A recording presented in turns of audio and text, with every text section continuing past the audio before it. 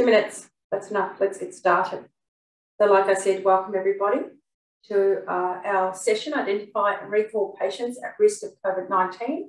We'll be um, discussing uh, how you can identify patients, as the title says, but we also will be doing a little bit of um, data cleansing and looking at data quality in PenCat. So I'll be doing a bit of a quick sort of 101 on that. Um, but if you've got, we're a small group today, so if you've got any questions, please stop us, take yourself off mute and uh, please ask questions, put your hand up, put uh, information in, you know, in the chat. If you've got a comment, I will stop. We could sort of divert the session um, if you've got um, anything in particular you want to know about. So before we begin, I'd like to acknowledge the, uh, do acknowledgement of country. So Northwestern Melbourne Primary Health Network um, would like to acknowledge the people of the Kulin Nation as the traditional custodians of the land on which we're meeting today. We recognise their continued connection to the land, waters and culture and would like to pay our respects to elders past, present and emerging. A little bit of housekeeping. So um, all attendees are on mute. Um, but like I said, there's we're just a small group, so uh, you can either ask a question via the chat box. Um, the questions can be anonymous. We can have someone else ask them if uh, you don't want to take yourself off mute and have it um, and ask a question directly. So a little bit about the speakers. So Natalie Simpson Stewart. So Natalie has been a nurse for 15 years and a practice nurse for seven years. Um, uh, she's got a lot of uh, digital tools apparently for effective patient recalls and running efficient vaccination clinics. So there's a bit of a skill there on Natalie and then myself and I've been working for uh, Northwestern Melbourne PHN since 2015, working with uh, general practice um, and all things uh, quality improvement and supporting practices in whatever they need support with at the moment. So I'm just going to run through quickly on um, uh, CAT4 filters and data cleansing. So uh, just a quick view of what uh, I think is a 101 uh, that I have practices ask me at times when I meet with them. So uh, firstly, this is usually the screen you'll, you will find when you log into your uh, PenCat. And usually you will see, you'll be able to select your extract to the left of your screen. That, that's an important um, area to know about. There's a help button. That's an important area to know about because that's where you find your cat user guides, your cat recipes, training, webinars and more. There's a filter button here that opens up your uh, filters. So you've got uh, layers of filters when you're looking at uh, different cohort of patients you want to look into. And always remember to uh, clear filters and recalculate when you're looking at your recipes. But I'm going to take you through some of that in a moment.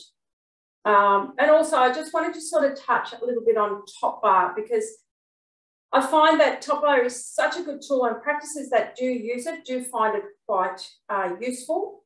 Um, it, it is a tool that will help you identify what's missing in a patient's database. So um, we'll have a look at that in a moment, um, but there will be a link. So these slides will all be coming out to you after this session. So this link will take you to this little video which I'll play later for you.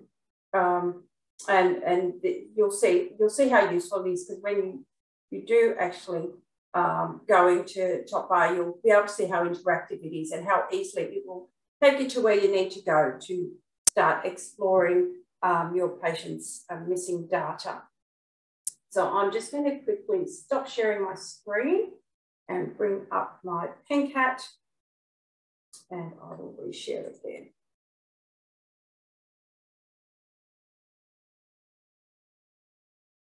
So there you go. Natalie, you can see that again. Perfect. Okay.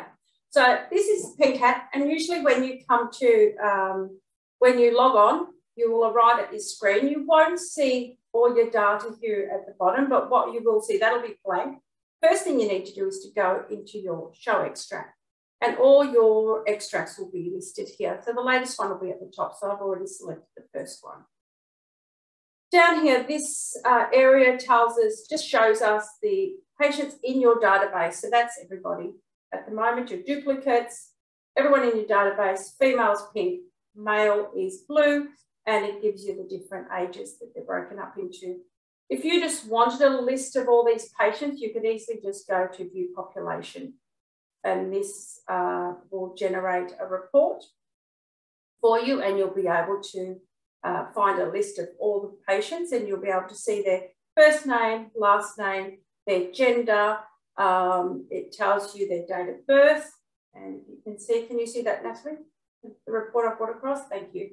Um, so you can see it's got all this information for you, uh, where they live, uh, postcodes, phone numbers, you know, Medicare number, IHI, and also their assigned provider and the last time they've been to your practice. If you wanted, for example, to have a look and just reorder gender, sometimes you might have a list of patients that don't have a gender and it's just as easy if you hover your mouse just over the, the word sex, it usually will turn into a little hand. And of course, because I'm presenting, it's not going to do that now. There you go. Um, and then if you click that, that will reorder your list um, by gender.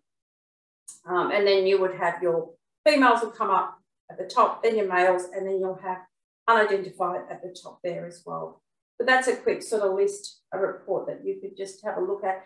This, remembering this report at the moment saying 778 pages, so it has, it is a big report. I wouldn't recommend you print it, but it could be something that you could then um, try and save into your database. So you could just go to save, select in which format you want to save it, and then save it on your system somewhere to refer to later. Um, just quickly up the top, we've got all these buttons along here. So collection, this is if you, you go to collection if you want to um, do an extract. We, the PHN usually has um, uh, receives extracts once a month. So there's a scheduler on most practices databases somewhere. There's a schedule on their system that will automatically uh, activate on the first of every month and the extract then gets, you receive the identified data into your PenCS uh, portal and we will receive de-identified data at the PHN and that's part of the PQI requirement. Um, but if you want to collect um, information, you could uh, another extract, you would just go collect. I recommend you don't do that during the busy period at the practice because um, that could slow down your system. Report is if you select, uh, you actually go in and select a particular cohort in your uh, database and you wanted to just see a report, you click report and it brings up a, a sheet just like I showed you previously. Um, already touched on that. Cat 4 is where we've logged into. Uh, cleansing cat, that's basically the same as clicking on your data cleansing tab. So that'll show you these data cleansing um, tabs here at the bottom. Uh, register a cat, that's if you've got registries in the practice.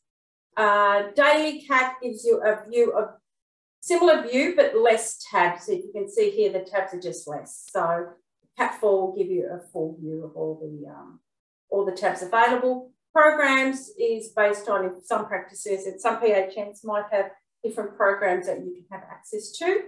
Um, uh, help is probably another good area to look at. And here is where you can find a lot of the links um, that will assist you once you're working through. So your cat recipes are a good uh, thing to refer to if you're a particular uh, information you're looking for. You'll probably find the steps in your cat recipes. Also has some training and webinars, so live training and webinars that have uh, previously occurred and you can watch them. They're usually about 30 minutes, so worth the watch. The other quick thing I just wanted to have a look at is filters. So usually uh, you start off the page like this, then you would open your filters. In general, you would, you, you know, it's quite explanatory. So if I wanted to, for example, look at just males, I would click male patients, recalculate, and it would bring up all the males in the practice. So I can layer it. And then if I may, I might want to look at male Indigenous patients. Again, you would, you, I'm looking at my males, Indigenous patients, recalculate, and that number's going to change. Going to tell it's 30. Then if I want to look at conditions, I might go in and say, you know, male and so on. You understand, you know, I would click yes to diabetes and I'd be able to see my diabetic male patients um, with Indigenous ethnicity. So every time you do select the measures, remember to always go in clear and recalculate so it takes you back for you to be ready for your next recipe. So basically this here, you know, gender, you can select by gender, DVA, health cover, um, age, if you want to look at a particular cohort of patients by age, last visit, first visits, um, activity, a lot of the recipes will start um, and ask you to select active patients, three by two, um, because that is what the accreditation standards are based most of your um, accreditation on. Um, so all of every time we look at your patient's information, your PIQI reports are all based on your active patients. Postcodes, you can select patients by postcodes. Ethnicity, you can come in here. Um, in your PIQI reports, you've got the uh, ethnicity, you've got patients that um, not recorded or stated, this is where you would come in, click on that, and you'd be able to find the list of patients. Conditions, you can choose patients by condition. If an example is if I look at diabetes and I want all the diabetic patients, I would say yes.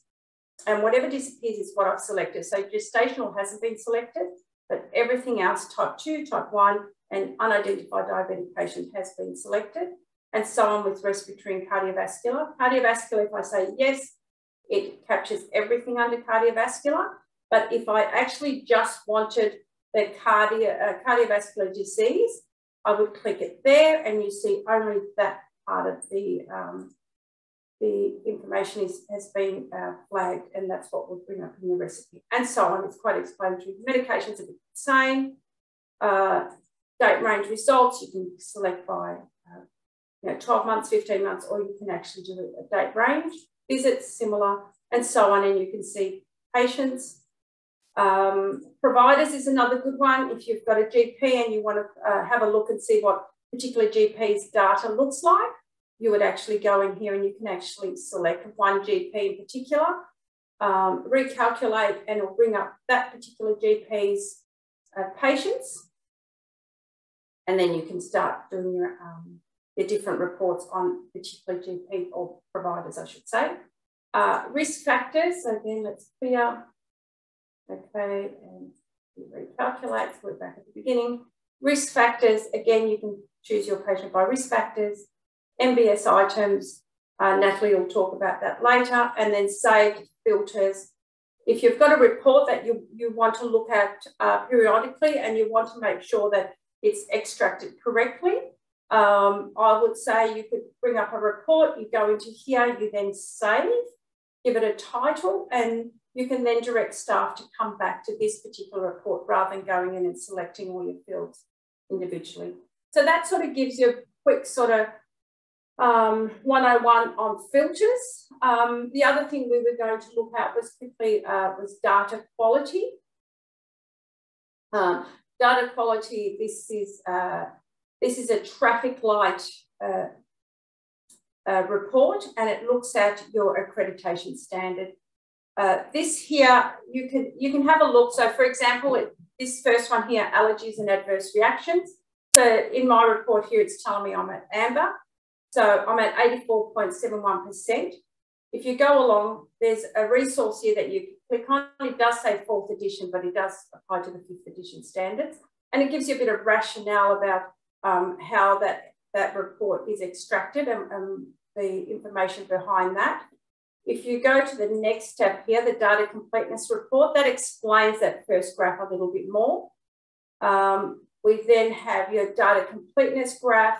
But if you want to look at your data quality, I would say, you know, every quarter or every month, you might want to make a habit to just pop into this report here, which looks at your duplicated patients and your duplicated patients by number and duplicated patients by name. So this report here, of course, mine's all de-identified, so everybody is a duplicate, but anybody that's got the same Medicare number, healthcare card number or DVA number will pop up on this um, report. And then on the second one, anybody that has the same name. So that the system will identify if a patient's gone into, if you've got um, online booking, a patient might go in and, and themselves online and create a duplicate uh, record in your system. This is where you would pick it up here. Um, but it also does pick up twins. So just be careful if you, you know, if you are going through it, you might have twins that um, you would have to, and that'll just keep picking them up regardless. Um, you can't stop that happening, but this is where you would go. Um, I think that's it.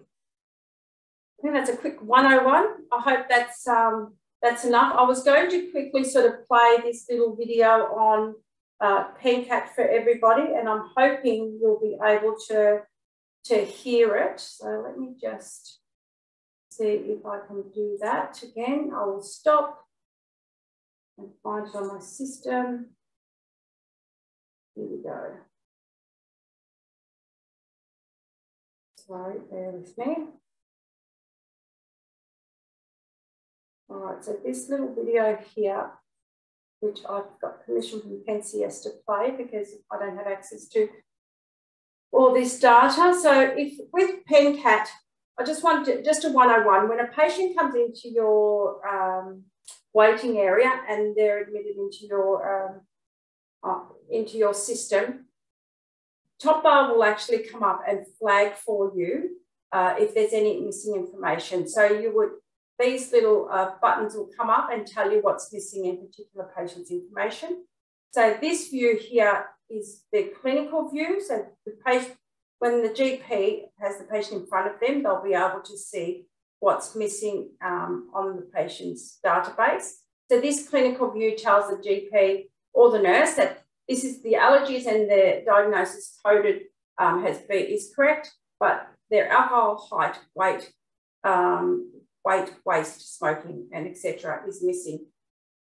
You just need to click the button. If you click the button, that should actually go directly to your clinical software and it should start to, um, uh, it'll open up exactly where you, sorry, I'm going to mute that because I've been told you can't hear it. So yeah, so you can see it goes through, um, you can click on demographic, it'll, it'll open up into the clinical software exactly where you need to put your information in. So you don't really need to go through the patients through your clinical software to find exactly the, the spot to put the information in. But this video is actually in the slide. So just take time, have a look. If you do want Top Bar installed and you don't have it installed at your practice, let us know.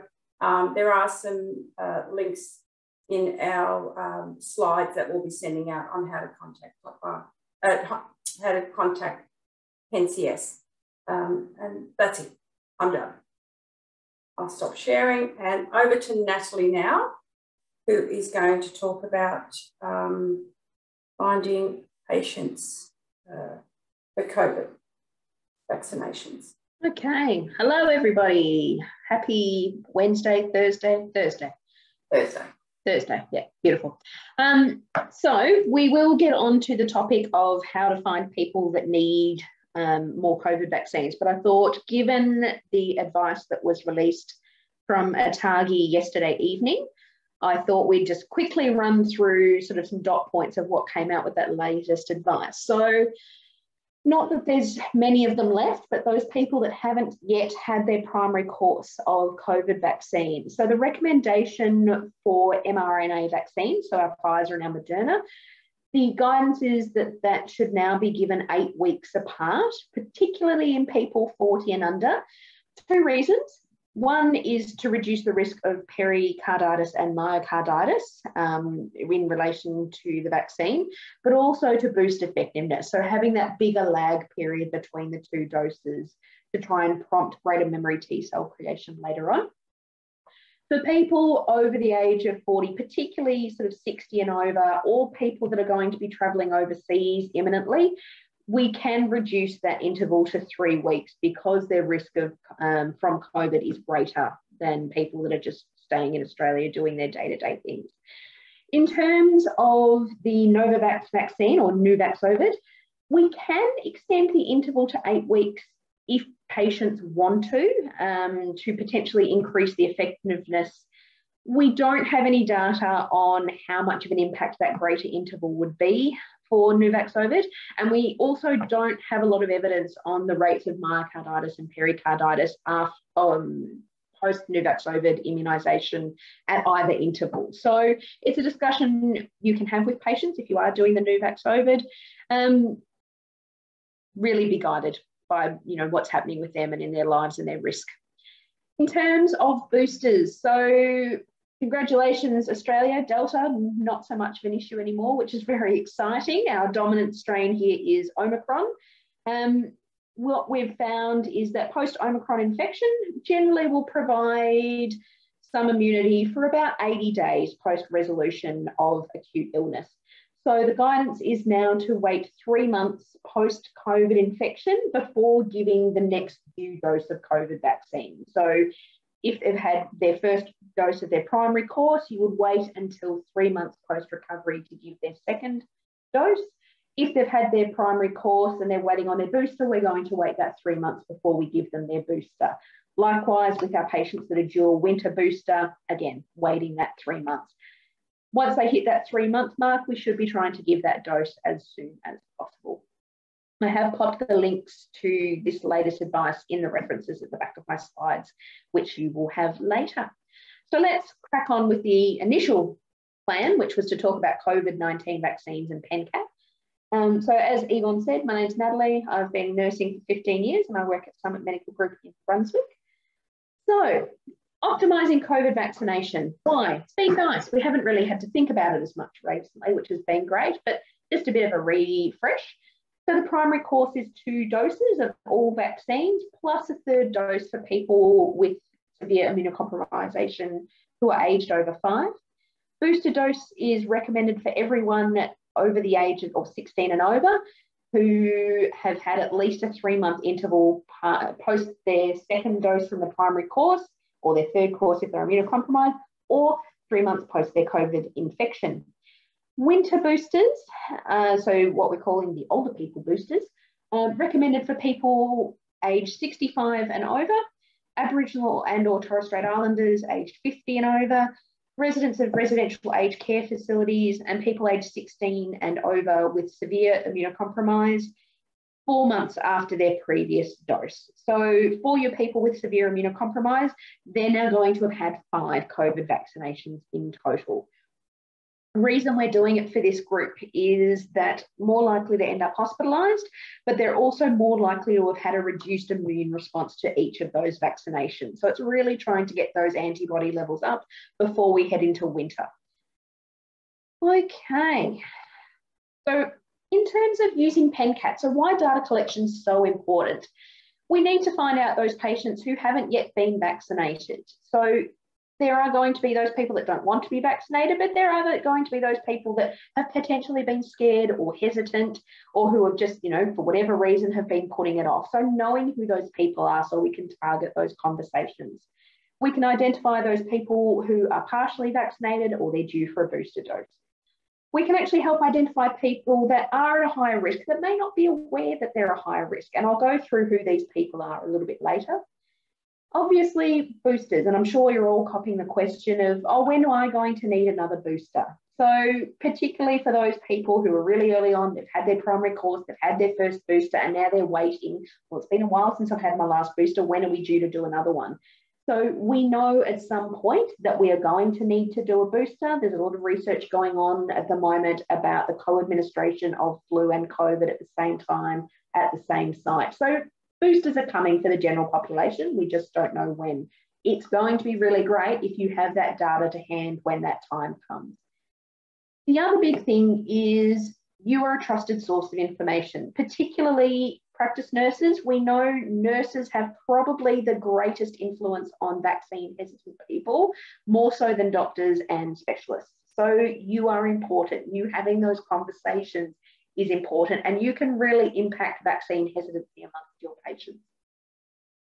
So, who are these risky people that need a COVID booster? So, the first thing is making sure your coding in your software is really, really good if you have people whose diagnoses aren't coded correctly, you're not going to pick them up when you pull your data. So in best practice, if you want to find who you need to code, you'll go into best practice Premier Utilities, which lives in your start menu underneath best practice. And rather than the usual rainbow finch, you have a little black and orange finch. If you open up best Premier Utilities and you come down to where the paintbrush shows cleanup history, it will then open the window on the right. And what you have in that list is any diagnoses or reasons for visit that have been saved as a freehand. And if you go through there, you will find people that have free-handed diabetes for sure. So what you can do is highlight that uncoded past item, and then on the right-hand box in the condition, you can actually choose what you'd like to code that as. So you can change a free-handed from diabetes to a coded diabetes. Obviously, that would be then good if you went through and figured out which sort of diabetes they have, but we'll start with the basics. In Medical Director, which I don't use, but again, under your Start menu, under Medical Director, you will find the section where it says Maintenance. If you open that, you can see the section where it says Diagnosis Coder, and then you'll be opened up. And similar to the best practice, on the left hand, you'll have a list of free hands. On the right hand, you have your coding. So making sure that things are coded. Okay, so we have coded our data. Now we need to figure out who's not vaccinated and why. So looking at the general population, there is always going to be that section of the population that will not vaccinate for whatever reason, regardless of how much information they are given. That those people, it's not really worth spending a lot of energy on that group because they're not going to be influenced. And that's what research has found. So very small minority, put them in the too hard basket.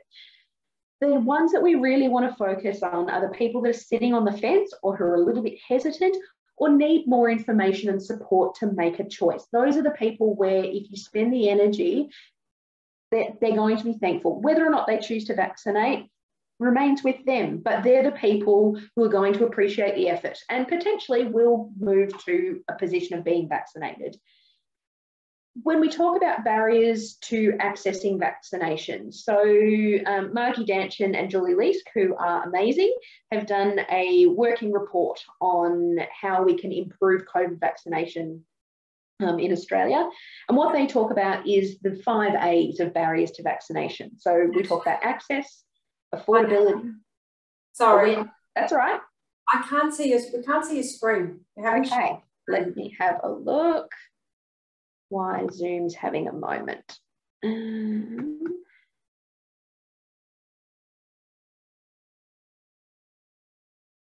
Um, okay, so let's try that.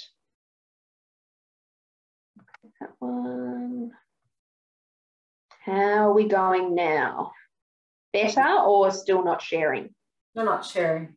Okay. You want me to share? No, no, that's all right. Um, let me. Something's coming now. Yeah, better. Better? All right, perfect. Yeah, thank you. That's all right. Okay, so we'll go back here. There we go. Everyone can see that one now? Perfect. Excellent. All right, so we talk about those five A's. So, and I'll go through these in a little bit more detail shortly. So we talk about access, affordability, awareness, acceptance, and activation. Now on the right, there's a little graph there, which was really great. Some studies that were done by Melbourne Uni. And what it was tracking was out of our Australian population, what adults were hesitant or were not keen to vaccinate. And so you can see looking from October 2020, so, you know, just as vaccines were really coming out and we were aware that they were coming, um, you know, we had above 10% of people who were really, you know, no, I'm probably not going to vaccinate. Um, and then you have the other group there that were a bit unsure. And we can see that that has fluctuated over the course. So if we think about when Astra, the announcement about AstraZeneca for people under 60 was made, which was late May, early June, you can see there was a little bit of a blip in people going, look, no, thank you, I don't think I'm keen to get vaccinated. So all that messaging really plays an impact. But the other thing we can see is that sort of when we're getting to the end of last year, those rates of people that weren't going to be vaccinated or still sure has dropped below 10%. So we've actually come a really long way over that trajectory, a really a short interval of just over a year. Okay, so first two A's, so access and affordability. So what we know is that if it is convenient for people to get vaccinated, that is going to increase our vaccination rates. And different communities have different needs in terms of access and affordability. So obviously the government went a big one. Vaccines are free, regardless of if you have Medicare, you don't have Medicare, why you're in Australia, you can access a free COVID vaccination somewhere. we also legislated that doctors can't charge a fee for the provision of a COVID vaccine. So we can't charge for the vaccine and we cannot charge for the consultation therein. We made it many options. We had pharmacies, we had GP clinics, we had hubs, we had pop-ups going out everywhere that were available. So there was lots of options for people of how they were going to access their vaccine. So if you're a clinic that's not providing COVID vaccines or you've decided to wind back your COVID vaccination programs, it's really important that you still know where those vaccines can be accessed for your population. So nearby GP clinics and community health centres that may be doing it. Um, obviously, a lot of the vaccination hubs are now starting to be wound back, but there are still some around. Pharmacies still doing quite a lot and, you know, quite a varied, obviously they've got Moderna as well um, pop-up clinics. So I do strongly suggest following the Northwest Melbourne PHN Facebook page. They do post up there quite regularly when pop-up clinics are being run. Bunnings we know is a really big one, a lot of sporting grounds and community centres as well. The other thing that's worth mentioning is you can do flu vaccinations on the same day as a COVID vaccination. That's absolutely fine. They do need to be at different sites though. So you're going to go opposing deltoids um, if you are going to co-administer. The other thing that's worth mentioning is you can bill concurrently for the COVID 19 vaccination items and standard consultation items, which I'll talk about a little bit later. Okay, so let's find our patients who need boosters. That's basically going to be the big cohort that you're looking at at the moment. So opening your PenCat, you've got your data set. I always restrict it to my active patients. Um, they're the ones that we're seeing, and I really have a responsibility to for to make sure that they have as much information they have to make that decision for themselves. So if we come down here, we can see that there's the immunisations tab, and under the immunisations tab, we have our COVID-19 reports. So what I've highlighted here is the people that are due for a booster who are at an increased risk from COVID. And what I can see out of my 571 people who are um, deemed to be at risk, I've got 307 where I don't know if they've had a booster or not. And this is the thing to remember. This is picking up data from your software. So out of my 307 patients, probably quite a lot have had a booster, but I need to reference that information against the AIR to pick that information up. So I'm going to pick up this bundle of people by clicking on them and go, okay, here's my at-risk people that have not had a COVID booster that I know about. On my next page, I can also then highlight the people that I know are still due their flu vaccination. So what I come down here under my immunisations tab, we come under influenza. I look at my general cohort. So I've picked my COVID at risk cohort, but now I'm going to my influenza, just everybody. So those two groups will combine. So I'm going to pick the people that I've given flu shots to before. So the ones that I know come in, see me for flu, that's my first target. You can expand out to just everyone if you want to, but depending on the size of your clinic, those numbers might be untenable. So we, I'm going to pick with a smaller, smaller cohort that I can target and I know that I've provided those services in the past. So I've highlighted my COVID groups. I'm also now going to highlight my flu people that I gave their flu shot last year or the years before. And I'm going to come up here to my report button. When I hit that report, it's going to collate the data. Who are those people out of those two groups that I have selected? And when I publish my report, now obviously this is a de-identified report, so I don't have any of the information I need to contact it. You will when you pull the data from your non, your identifiable report. And what it goes us over here is our vaccine history. So we can see when they've had their first COVID vaccinations, I can see why are they why are they considered to be at risk in terms of PenCat software. So PenCat, we're using the category 1A, 1B. Um, back, back when we had a roadmap and we were following the roadmap, that's the data that they're using to consider people at risk.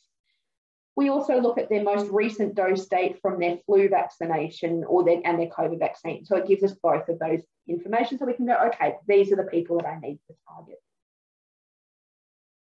So the other thing that can improve access, do you have a large population of people that actually receive home visits and may actually benefit from a home visit service? There is a home visit COVID vaccination service where they will go in and they will vaccinate people at home. That can be arranged by ringing the coronavirus hotline, or if they are a person with a disability, you can email the disability liaison officers at the Department of Health on that email there to arrange a home visit. Um, down here, I've just popped in who is actually eligible for a home visit. So if it's for the primary course, everybody. If it's for the booster, it's only for people with an underlying disability or health condition if they're between 5 and 59, or if they're age 60 and over, it's everybody. So I think the thing to remember here is we're not delineating by who gets to have a home visit, we're actually delineating by who gets a booster. So basically, if there's a reason that they need to have their vaccine at home, they can access that service. How we find these patients? So the first thing is we know there are separate item numbers for doing home visits. So I've given you your table here. So generally you're going to be doing a 24, a 37 or a 47. What we can then do in PenCat is we can filter. So if you come up here where it says MBS attendance, and you can select the item numbers here, who's getting those visits. So you can select your 24, your 37, your 47, when you click recalculate, it will then bring up your patients who have had a home visit who fit in the category of not having a booster recorded. Now, I we don't we I think I've done three home visits in the last 12 months, so not useful data. But when you do that population group, your table will then change to show which of those patients that have had a home visit are still due a booster. And that you know, shortened your list of, okay, are these people that I could organise someone to go out to their home to get that booster done? Um, the other thing is, how many of your patients are coming to see you after hours if you have an after hours service? So again, using that MBS filter, you can filter by the item numbers for after hours. If you have a significant population of people who do come and see you after hours who are also still due boosters, is it worth your clinic running an after hours booster, uh, you know, COVID session? or talking to your doctors that do the after hours service and going, okay, well, you've got all these patients coming in to see you that haven't had their boosters. If I draw them up and they're in the fridge, can you please really try and push those through? Okay. So looking at two more of our A's, awareness and acceptance.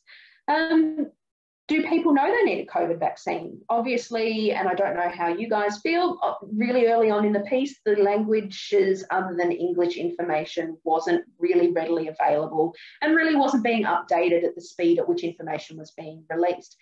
There's groups of the population that may not be sure about what they're meant to be doing in terms of boosters and everything else. So making sure that that information is available. Um, not only culturally and linguistically diverse backgrounds, but also health literacy. So we know that's a really big thing. Is that information actually available to them? Can they understand what they're being told? Making sure that there's resources that are targeted for that group available for those people. The other thing we can look at is barriers to acceptance. So obviously the big one, particularly early on in the piece, was worries about safety and side effects. You know, that idea that the process had been rushed and there wasn't enough research about the vaccine. So we know with the vaccines that we have on the market in Australia, they have all been through phase three trials. So they have been through the exact same processes that every other medication does. What happens is that lag period between phases was shortened. So usually you would run a phase one trial to look at safety. Can we actually give this vaccine without causing huge issues? Usually what would happen is your phase one trials would complete. There would be a period in between where reports were made, research was published, then phase three trials would be run. Okay, it's safe. Does it work? Perfect. Let's run those phase two trials. Again, stop, research, publish. Then phase three trials let's expand it out to a wider population isn't a public health benefit. What happened with COVID vaccines is those reporting periods were shortened. As soon as sufficient data was available from the previous phase of trials, the next phase of trials began. So they have still gone through all the processes they would need to go through. It's just that we've shortened the red tape so that we could get these things on the market. Yes, in terms of long term, we, we don't know. Theoretically, though, looking at the way that these vaccines have been made, we can't say, yes, this is definitely going to be happen. Yes, this definitely won't happen. But what we can look at goes theoretically, there's nothing there that should cause long-term issues. Um, we do have options. So I think a lot of hesitancy was around the mRNA vaccinations because it was relatively new technology. Nothing using this technology had been brought to market. So that's where AstraZeneca and your Nuvaxovid using more traditional methods are a good option for those patients where that is their concern. Um, perceived benefit. No, I'm healthy. My immune system's really good. I don't get sick. I don't need a vaccine. Excellent. Glad you've got a good immune system. Not everyone does you're part of a community. Also, COVID, not like other diseases. We can make a guess about who they're going to, who's going to get serious illness, who's going to end up with complications. There are large swathes of healthy people that are getting quite severe COVID and who are developing long COVID. The other trade-off too is we look at people that are worried about the long-term effect of the vaccine. What are the long-term effects of COVID? Look at rheumatic fever, starts as an illness, Later down the track, you're looking at a mitral valve repair. So we don't know what those long-term issues with COVID infections are going to be. There are, it comes both ways. Healthcare provider trust. So funnily enough, the evidence said that healthcare providers were more trusted than politicians when talking about COVID and vaccines. I think we all saw that coming if you have a really good relationship with your patients and you are their regular provider, they are going to value your opinion. They may still go away and think about it and access other sources, but your opinion and your value has weight.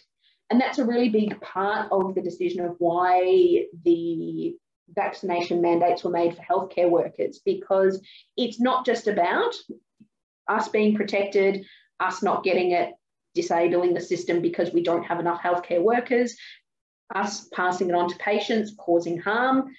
We all said that we're not going to cause harm to our patients. The other thing is if you have people that are not vaccinating and are going through alternative statements about vaccine and safety, and I am a nurse immuniser, I've been a nurse immuniser for over 10 years. I don't do research. I trust the people doing the research who then publish their stuff for me to read. And that's what I talk to my patients about. I don't trust Pete Evans on much at all, particularly not vaccines. The other thing that we know has a really big impact on people choosing to vaccinate is their previous vaccination experiences, particularly childhood immunisation is a really big thing for adults choosing to be vaccinated. So trying to work through it may not be an issue with the COVID vaccine, it might be an issue with being vaccinated at all. Is there a way that we can help those people? You know, making a longer appointment, giving time. Do they want to bring a support person in? Going through their concerns, you know, letting them know, look, if you come in and it doesn't get done because we just can't, that's okay. We can make another time, making it a safe service that you are providing for those people. Okay, so let's have a look at some barriers of awareness and acceptance that we can categorize with PENCAT. So, increased risk of hospitalisation. So, I think everyone thinks, oh, you know, they were old. Obviously, they're going to be at risk. Oh, they're on, you know, medications for cancer. They're going to be at risk. Let's have a look at some other things. Being pregnant, you have some immunosuppression when you're pregnant. Doesn't bode well for viral infections. Men, more likely to get complications of COVID than women. Also, heart disease and diabetes um, if they've had cancer in childhood, that, you know, even if they're recovered, fully in remission, never had any problems since, linked to higher rates of complications with COVID later on. Ones that I think are interesting. So, poorly controlled hypertension. So, your 50 something year old bloke who doesn't take his tablets for his blood pressure regularly, higher risk of complications from COVID. People with a BMI of over 40, myself included, higher risk of complications from COVID there are things where people may not realize that they're at risk. Non alcoholic fatty liver disease. How many of your patients have really whacked out LFTs? Potentially a higher risk of complications from COVID. So, actually letting those people know that actually you're in that cohort of people who may not do well if you get COVID. So, the other thing, do are we addressing those cultural and language groups in our population that might need access to resources in their first language? So in COVID, uh, in COVID, in PENCAT, you can actually go by language group or by ethnicity profile. So it is part of your accreditation standards that you are asking this information. Um, I think for those of you that are using best practice, it gives you the option for ethnicity. The thing to remember, not just with COVID vaccines, but also in terms of your di diabetes risk, what we're looking for actually is country of birth, regardless of when they then migrated to Australia. So for my patients, we talk about ethnicity, but I also ask them where were you born because that's going to play an impact further down the track um, for lots of things. Um, so I have a very white population. I work in the middle of Brunswick. This is not surprising. Um, so I do have a few Aboriginal and Torres Strait Islander patients, but the vast majority of my patients are Australian, non-Indigenous background, um, English, and some Arabic patients as well. So for my clinic, having resources available in English and Arabic has been okay, and our vaccination rates are pretty good. If you're working sort of out of western suburbs or in the further north, your profile may be different. Are there languages there that you can pop some stuff out in the waiting room that's accessible for people? They don't have to ask you, they can just take it, have a bit of a read, process that in their own time. This is a really easy way to find out, are we actually giving the stuff that we need to the people that we need to. Okay, last A, activation. Those people that are like, yeah, I think I will get vaccinated. How do we give them the little nudge to take the plunge, get the jab? Good on you. So we can do reminders, SMS, email, letter, really good. Um, the other thing with those is they're really time intensive, particularly if you're doing sort of letters, it's really money intensive. We have better things that we could be spending a dollar ten per patient on. Opportunistic reminders are also effective activators. So having that note in the file, oh, I can see you haven't had your COVID jab yet, or you do if you're a booster, you know, do you feel comfortable doing it today? Would you like me to make an appointment to come back? It doesn't also have to be just us. It can be from other trusted sources. So community leaders, religious leaders, PHN did a really fantastic um, multilingual rollout video for our main languages in our catchment area of pro vaccination information, which is great. Pardon me. The other thing, remembering, we can co-claim our items. So there's not that restriction of, oh, you're coming in your flu shot. Well, I can't do your COVID shot today. You'll have to come back another day. No, let's get it done. They're here. Talk to them. You only have to do one round of side effects. How great is that? Let's get it done. So let's have a look. How can we do this opportunistically? We are going to be doing a series starting in June on delayed care. We all know that we've now seen the onslaught of all the people we probably haven't seen for the better part of two years. We have opportunities now to actually see people. We're, you know, we're doing more face to face. Telehealth's now being permanent. Hooray! We've got those options to really go, oh, you know, I'll just have a quick look at your file while I'm here. What else needs doing? Are we calling our people back in for health assessments? This really died off over the pandemic. We know. Let's get those people back in. Let's make it part of our health assessments. You know, heart disease risk, diabetes risk. Have you had your COVID booster? The other thing that we can look at, and we all love because it's a money spinner, is care plans. Wonderful. Let's come in. Let's talk about your back pain. Have you had your booster? We can do that on the same day. We can co claim that item. That's A OK. So, I hope that's all inspired you, that you have found new passion for finding those people and getting them their boosters so we can stay out of lockdown. I have popped some resources at the end for you. So the first one is just the guidance on those people who needs that third primary dose, who needs that fourth booster in terms of immunocompromise. This gives you the list, goes through everything. Um, in terms of keeping abreast of ATAGI updates and what the clinical recommendations are, health.gov.au, that's where that information then gets translated and put up as soon as it comes out. Um, I've put some information on MBS item claiming and co-claiming of what you can and can't do um, with your COVID vaccine items, just in terms of with your GPs to go back and say to them, well, this is what we can. Yes, you can do it on the same day. Please jab people or I'm coming for you. Um, if you would like to have a read through the COVID-19 vaccination strategy working paper, that's the reference down the bottom. It is well worth a read. It's really, it's not super researchy. It's got some really good practical stuff. Just for general vaccination as well. So well worth a bit of your time. And you can put it on your CPD report because we're coming up to the end of the CPD period. And I've also popped on the PenCat resources. So you, obviously you can access them through the help menu in PenCat. But if you're at home and you're like, oh, I was going to look that thing up today, these are your websites. And if you're really stuck, get in contact with PenCat. You can flick them an email, you can give them a call on their 1 800 number, which is free. So, questions. Is there anything you would like to know? Feel free to pop it in the chat and I'll monitor that one. And I'll just pop back over to Yvonne. So I'll stop sharing my screen. Thank you, Natalie. Very informative. Thank you very much. I can't see anyone with any questions in the chat. Please, this is your opportunity. We've got Natalie here. She's got lots of knowledge on lots of things. Put it to the test, is what I say. the other thing that's in there that you'll see is there's also a brief evaluation survey, so you can provide feedback. Um, always really interested if there's webinars or things you would like us to cover as well. I know Yvonne is a font of knowledge for all things that are amazing. Um, and I'm more than happy to come on and jump and talk about things that you want to know. Put, put my many years of working in general practice to good use. Yeah, absolutely. So I'll ask you a question. So we've looked at um, COVID vaccines, influenza, pretty much the same sort of concept, I would say. Um, how are you going with all the influenza shots and getting patients into practice? Are you having any resistance because you know they're all um, immunised out? I must admit, I was quite surprised. I really thought that there was, and I think particularly a lot of the literature and sort of the talk was that we were potentially going to be coming up to a lot of vaccine fatigue and needle fatigue, and people are just like, now I'm done. I just don't want any more needles.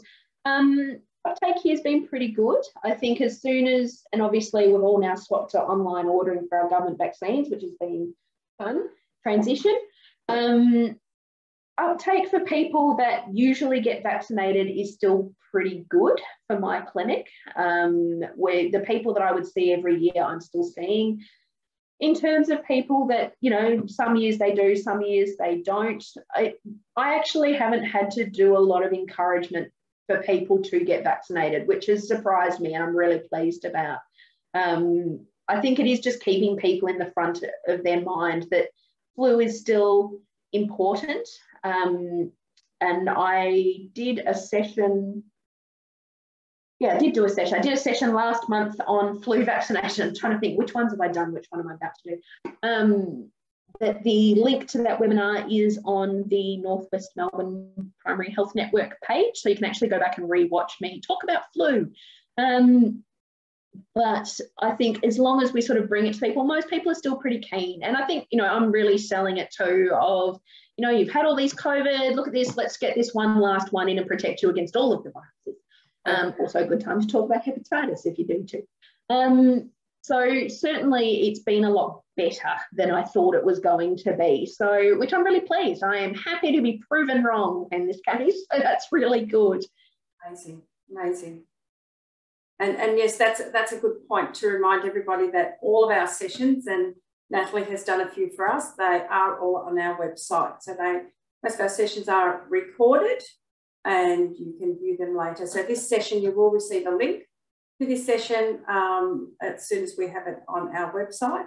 So you can share with your colleagues and just go through and have another look um, at what we're presenting and we're sending the slides as well. So the slides and all the links. So if you didn't get to write all the links down, um, they will be on our slides when we send them through.